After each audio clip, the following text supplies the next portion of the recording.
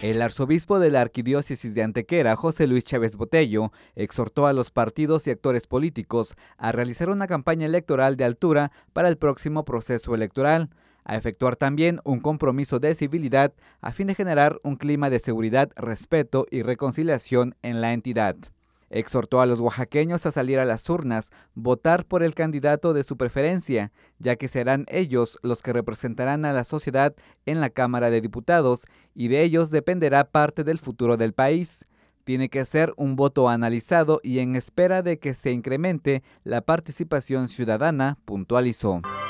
A expresar de cara a la sociedad un compromiso de civilidad que coadyuve a la generación real de un clima de seguridad y respeto y que desde su convicción personal abone a la reconciliación y a la paz de nuestro Estado por otra parte, dijo que la sociedad está cansada y desconfía de la política y los políticos. Existe falta de credibilidad en los mismos por los discursos y descalificaciones realizadas durante las campañas y la falta de propuestas concretas en favor de la población.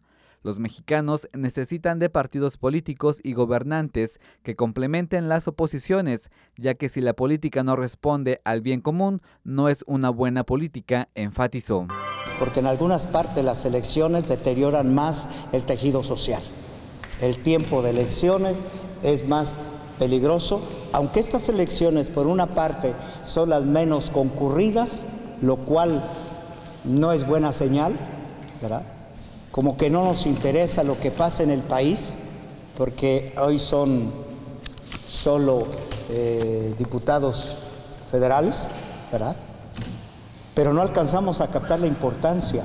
Si no responde al bien común, es mala política y no debe de existir ese estilo de política.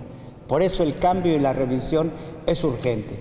Si un partido solo obstruye y solo es oposición a propuestas que benefician el bien común, no debe de seguir tal partido, sea el que sea.